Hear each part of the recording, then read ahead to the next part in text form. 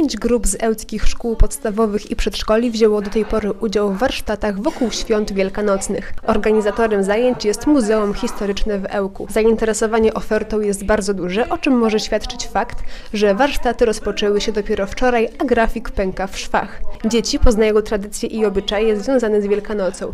Dowiadują się jak kiedyś i jak współcześnie obchodzi się święta wielkanocne. Mają również możliwość zobaczyć niektóre z rekwizytów, które dawniej wykorzystywano na przykład podczas Gaika Maika, mówi Magda Szumska z Muzeum Historycznego w Ełku. Dowiadują się przede wszystkim tego, e, no, jakie różnice napłynęły. Napłynęły po II wojnie światowej wraz z ludnością ze wschodu, też tą e, ludnością z kresów, tak zwanych kresów wschodnich, e, tak, no bo to wtedy wówczas przyszły te tradycje, które my obecnie też spędzamy, e, dowiadują się, jak Mazurzy przed wojną spędzali święta e, wielkanocne. Na naszej wystawce jest e, kogut, kurek, z którym chodzono po, wykupku, po wykupku. Chłopcy chodzili z kogutem, natomiast dziewczyny chodziły z drzewkiem wielkanocnym, które nazywało się e, gajkiem majkiem, tak witając wiosnę, ciesząc się z tego, że już święta wielkanocne przyszły. Różnego rodzaju są pisanki, kraszanki, malowanki, oklejanki, czyli te, te różne e, pokazujące różne sposoby ozdabiania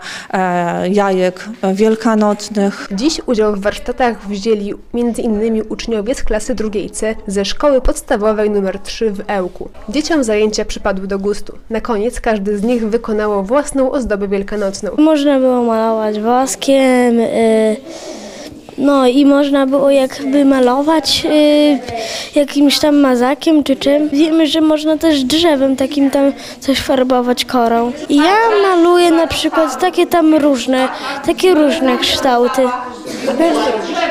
Ja Teraz robię koguta. Bardzo mi się podobają warsztaty, y, bo lubię bardzo wycinać i robić różne rzeczy. Kupujemy barwniki i takie naklejki. Podobają mi się te warsztaty bardzo, jak robimy różne rzeczy plastyczne i można się dużo dowiedzieć. Ja na przykład w tamtym roku ozdabiałam, że zapalałam świeczkę i ten wosk się rozpuszczał i tam jakąś tam szpileczkę szpile, szpileczką i malowaliśmy na tych jajkach. Warsztaty wokół świąt wielkanocnych skierowane do uczniów szkół podstawowych i przedszkoli potrwają do 28 marca.